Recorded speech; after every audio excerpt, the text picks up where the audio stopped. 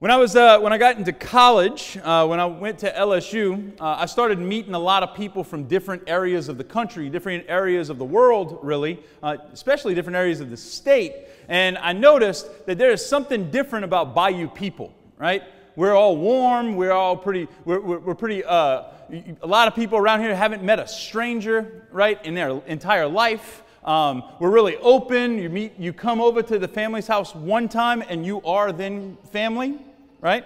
So I remember growing up, and, and this was the culture.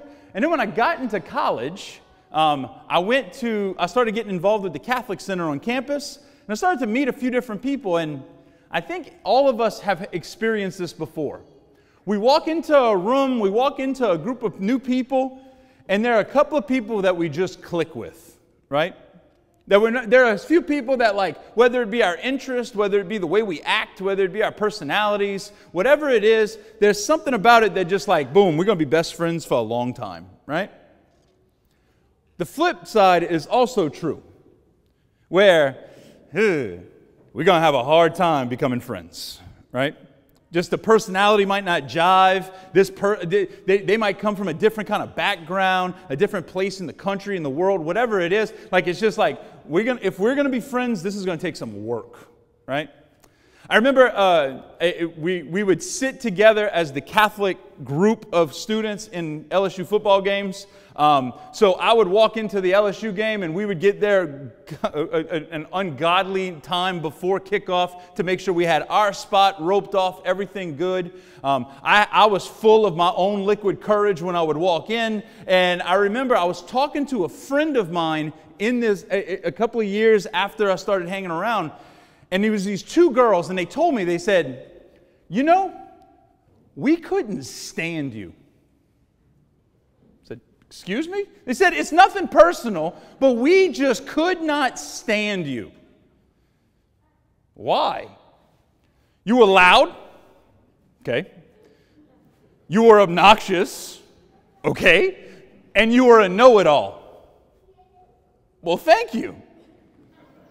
But they just said, very, very frankly, we couldn't stand you. Now, this was two of those people that, like, we weren't the closest of friends. We didn't hit it off right away. It took some time to get to this point of our friendship, right? But they had built up, we had built up enough of a friendship for them to be able to look at me and just say, We could not stand you. Appreciate it. But I thought it was funny because they threw in the phrase, It's nothing personal. It's nothing personal. You're just loud, obnoxious, and a know it all. But it's nothing personal. The phrase, it's nothing personal, is kind of like with all due respect. Right, right after that phrase is going to be an insult. No question, right? It's nothing personal, but you're ugly. It's nothing personal, but you're loud. Like it was just, it, it hit me, and I remember it's nothing personal. It kind of stuck out. I think what happens a lot of time when we approach our faith is that we can approach with the mentality of, it's nothing personal. What does that phrase do? That phrase is a that phrase in a conversation between friends or a conversation between enemies basically is supposed to be a get out of jail free card. I can say whatever I want and I can get away with it. With our faith, it's a get out of jail free card. It's a do whatever we want as long as it's not too personal. I approach my faith and I say, you know what? It's nothing personal, Lord, but do I really need to go to Mass on Sunday? It's, it's nothing personal, Lord, but that whole like prayer thing, it's kind of boring. It's nothing personal.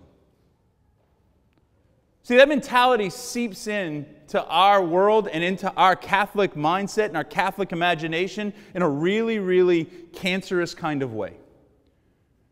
There was a study that was done a few years ago that 52% of Catholics did not believe that you could have a personal relationship with God. Think about that. Over half of Catholics did not and do not believe that I, me, John David Matherne from Raceland, Louisiana, can have a personal relationship with God.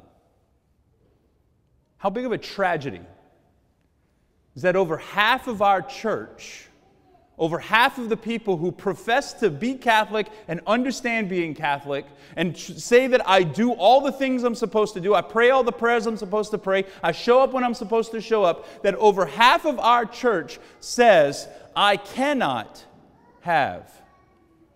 It is impossible to have a personal relationship with God.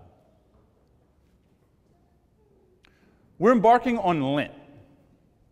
We're embarking on a journey, we're embarking on a time where it is supposed to be completely and totally and utterly a personal time with the Lord. But if it's not personal, then what is it? If we approach Lent where it's not personal, then Lent becomes about today getting dirt on our head, next on Friday eating fried fish, and then on Good Friday having a really good crawfish boil. Because it becomes about the externals. It becomes about something that's outside of myself, that's outside of my relationship with God. As long as I jump through the hoops and do the things, then I look right. And that's enough. Because it's over there and it's nothing personal. When we come today to begin this Lenten journey, we don't come just to get dirt on our heads. We don't come just to, just to have the, the, the priest pray over you and just drop some old palms on your head. The most attended Mass in the Catholic Church in the United States is Ash Wednesday Mass. And I'm convinced the reason why Ash Wednesday Mass typically is the most attended Mass is because we get a mark that says if we went to church or not. Because it's about an external, oftentimes. Oftentimes it's about what did I, did I show up and was that enough? God doesn't want us just to show up this Lent. God wants it to be completely and totally personal. And the reality is, with the way that the last year has progressed, with the way that, that it feels like we've been in a Lent now for 12 months, not 12 hours? I, I don't know about you, but I could use God being personal for a little while. I can use a season of being, ex, of being able to exhale and stand before God and say, God, I want you to prove to me that you care, that you're focused on me, and that it is possible to have a personal relationship with God. God doesn't want to be at arm's length this year. God wants to come and meet you and I in His sacraments. He wants to come meet you and I in our prayer. He wants to come meet you and I at Easter in a profound, profound way. Today, when we begin, we're going to sprinkle ashes on our heads. We're going to have a prayer that's going to say, Remember, you are dust, and to dust you shall return. We reflect a lot today at the beginning of Lent on our death. Because the reality is, is everything that's external, everything that's an arm length away, it's all passing. It's all going to go away. It's all going to die. It's all going to become ash. But Lent doesn't leave us in despair. Lent doesn't leave us there just reflecting on how finite the world is and how everything's passing. Lent brings us to another place. Lent brings us to April 4th on Easter Sunday, whenever we are back in relationship with God, where we reflect on the fact that God wants us in His presence personally for the rest of eternity in heaven.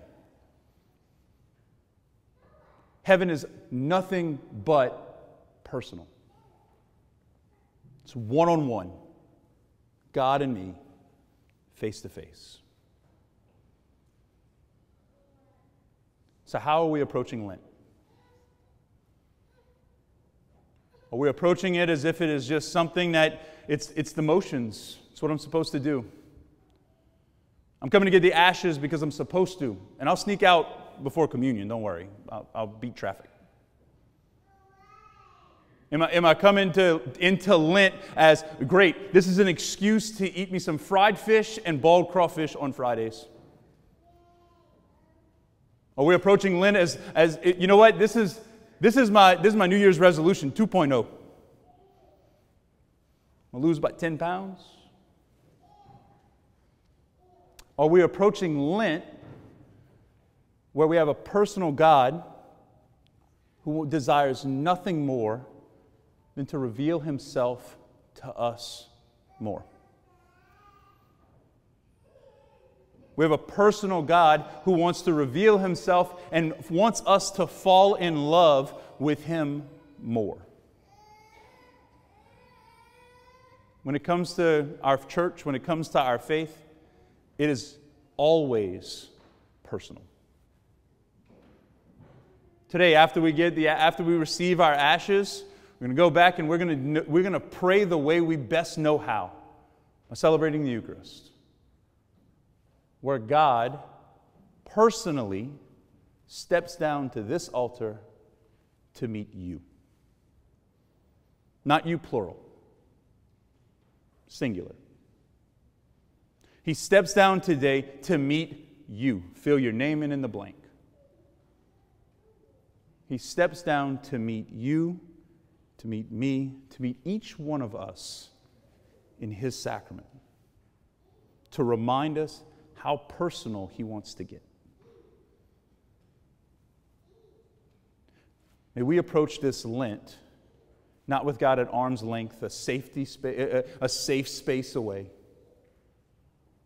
but instead, let us approach this Lent as a, with a God, being before a God who wants nothing more than to meet you. It's a tragedy if we wake up on Easter morning and we're exactly where we are today. Because Lent is all about progressing closer and closer to our personal God.